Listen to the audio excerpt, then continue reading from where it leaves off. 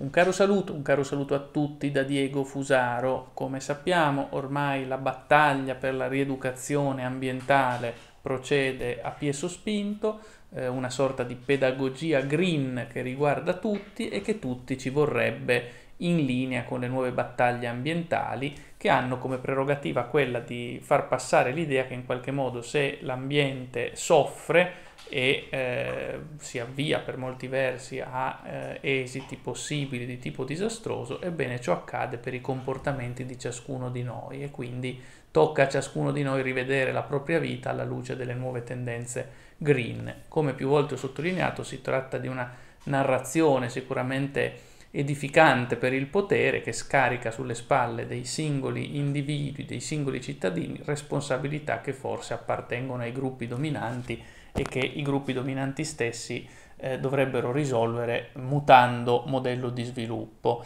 Ebbene, leggo, ed è una notizia non recentissima, ma che mi piace commentare ora, è del 30 marzo 2023, ma mh, mm, sempre nel 2023 siamo, leggo sul Fatto Quotidiano, i jet privati inquinano sempre di più i cieli d'Europa, boom del 2022 con 572.000 voli, più 61% in Italia, da Olbia alla tratta Verona-Brescia. Insomma, mm, per un verso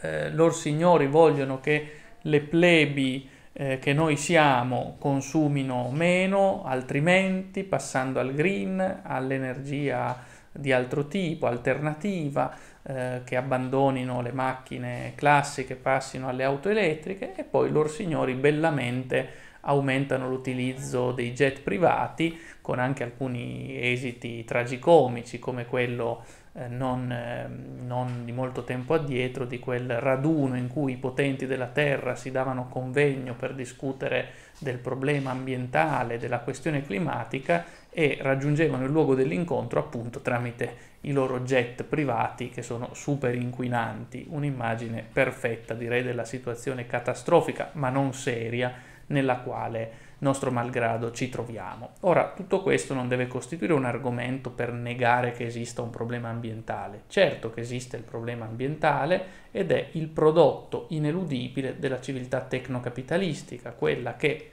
Heidegger Docet considera l'ente nella sua totalità come disponibile e dunque come sfruttabile in nome della volontà di potenza illimitata. Indi per cui il vero modo per risolvere la questione ambientale non è ritinteggiare di verde il capitalismo, non è trasformare in green la tecnica, ma è cambiare modello di sviluppo, quindi compiere semmai l'esodo dal tecnocapitalismo, ciò che Sava Sandir, loro signori ai piani alti, non vogliono accada e anzi si adopereranno in ogni guisa a ciò che mai accada.